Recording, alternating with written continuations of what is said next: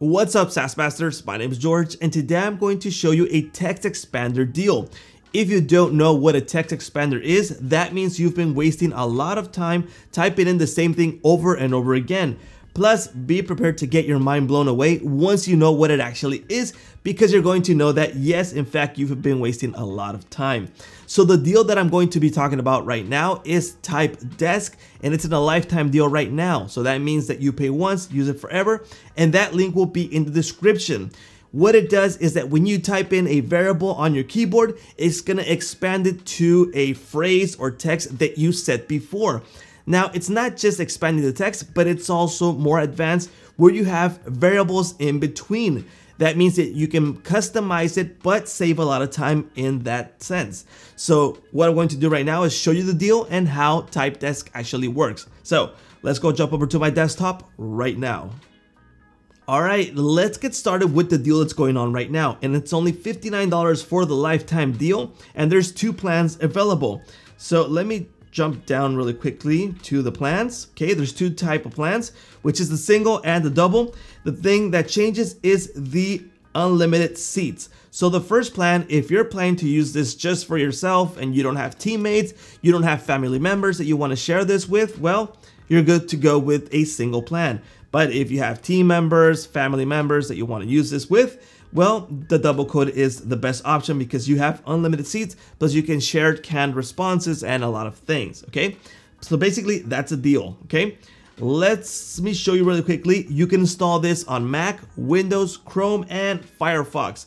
Recommendations, um, I recommend you install it on the desktop, like for example, Mac or Windows because if you install it on Chrome or Firefox, that means the text expansion is only going to work on the browser and not the whole computer, right? The whole desktop.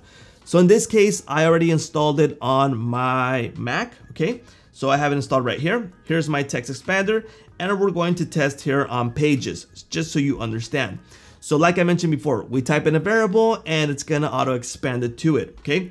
So we have several expansions already available here that they provide for you so you can check them out. For example, if you needed some lorem ipsum, you just type in lorem, all right? So you type in di diagonal and let's say lorem and boom, it added that to it, okay? That's a really simple use case. Like it just added text to it, a phrase that we already added. But like I mentioned before, there's a lot of advanced features that we're going to be checking out. So I'm going to I'm going to create a brand new one, create a new response, okay? And we have the type of variables that we have available. For example, we have variables that are already tied to our account. For example, if I use this variable, it's gonna add my email, first name, last name, full name, your role, and business name. Um, honestly, I don't think these are too useful, but they're available there. The ones that are useful are these, dynamic variables and custom placeholders. Let me show you a quick example. Let's just say that we are a support team, um, a call center, or just random daily use, okay? But let's just say we're a support center and we have to type in some special codes every single time. Um, for example, your service provider code is, and we're gonna add a variable. So we're gonna add a text variable, which is going to be insert, for example, we set the service code. That's what we're going to call it so we understand what it's for. Service code, okay, insert the variable is, okay, and please refer to, and we'll say, we'll add the select. We're gonna say, for example, what's the question so we understand what it's for. Let's just say the area, okay? And we're gonna say, oh, area. We're gonna say support is one of them. Add another condition. We're gonna say sales, accounting, and we'll insert that. Remember, these are just random use cases, just so you understand what they actually do. Oops, I clicked on it. Okay. And we're gonna say, we'll just test this one, all right? We'll just say, name it test one and we're going to set the, let's go up here, not variants, settings. The setting would be how, what shortcut are we going to use so this is actually used. So we'll just say PMP, all right? Just something like that. Obviously you would choose something that you would actually remember so you know it, all right? So let's type in this variable, PMP. Oh, sorry, gotta save it. Okay, saved. Whoops, let's start again. Okay, now it's saved. PMP, all right? And it's asking me the service code. So I have to remember what that service code. Remember, this could be a use case where I'm a call center or a support system, whatever. And okay, I got the code, boom, that's the code, enter. And then it's asking me what area. So I'm gonna say, I'm gonna redirect them to, I don't know, sales area, okay? Boom, it added it automatically to it. So we have this code plus the variable from the code that we said and the area variable also that we said automatically. Now this is just some really quick short text. Obviously, if you make this really long where a client actually thinks that you wrote everything, but you actually use text TypeDesk, all right? So that's a really cool use case. Let's go ahead and create another response. And for this one, we can say, hey, you know what? Today's date is, for example, if you're using this every single time, well, this is going to be really useful. It could be day of the week, full date, month, for example, we'll say full date, okay? and we can add and remove dates, subtract. These are really good variables. For example, if you are saying, hey, you know what, if you have five days to make a change, well, you would set that. You would know that if you send it today, it's gonna subtract or add five days, so they do something, you know? Okay, in this case, we'll see several days. Insert variable, so today's date is, and let's set the setting. For example, in this case, we'll say PJP, all right? Oh, again, test two, let's go ahead and save it. Okay, let's type in PJP. Boom, automatically it just added. Today's date is, and it's added right there without having to check what date it is or whatever. And like I mentioned before, we can add plus or minus days to make this even more interesting. Let's add another can response. Let me show you the variants. These are really interesting. We're gonna say test variants.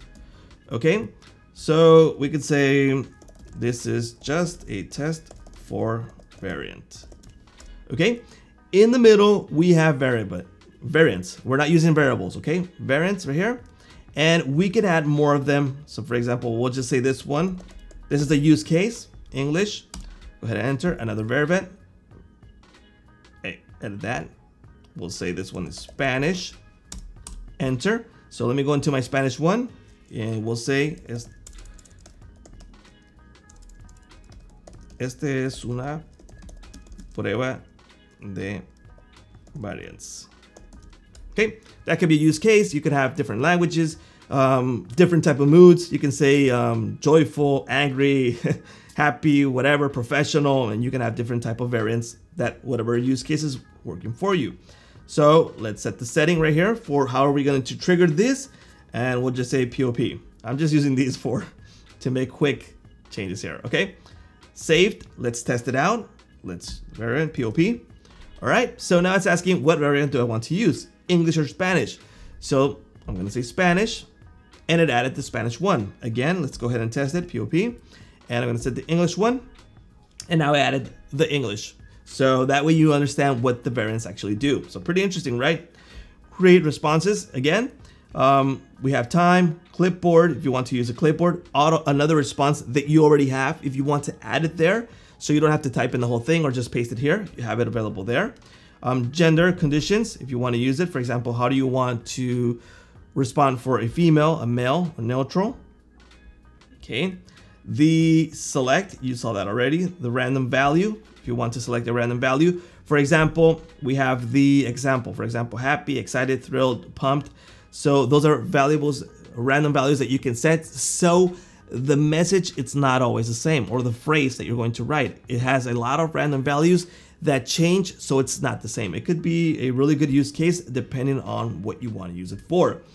We have settings, a private note for us, for example, for team members or just for future reference, like private note, what was this created for? And we set that note for us.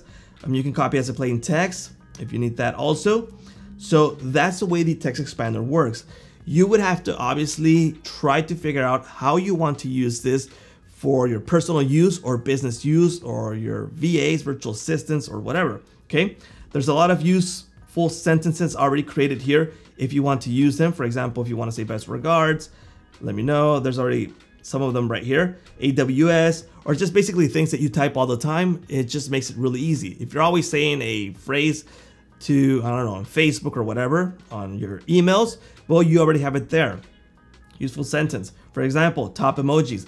The emoji is already set right here. If I want to use fire, I type in fire, it's gonna add the emoji. So I don't have to add some type of shortcut to add the emoji or type in the emoji icon and then select the emoji. In this case, I just use my variable right here and it's gonna add that emoji to it. Another things that we can add right here is we can separate by folders so we can have keep track of them shared with me. So if someone on your team is using variables all the time for the same purpose or reason, there's shared with me, there's team folders, and there's archived to delete them. But basically that is TypeDesk. What it does, it saves you time from typing in the same thing over and over again.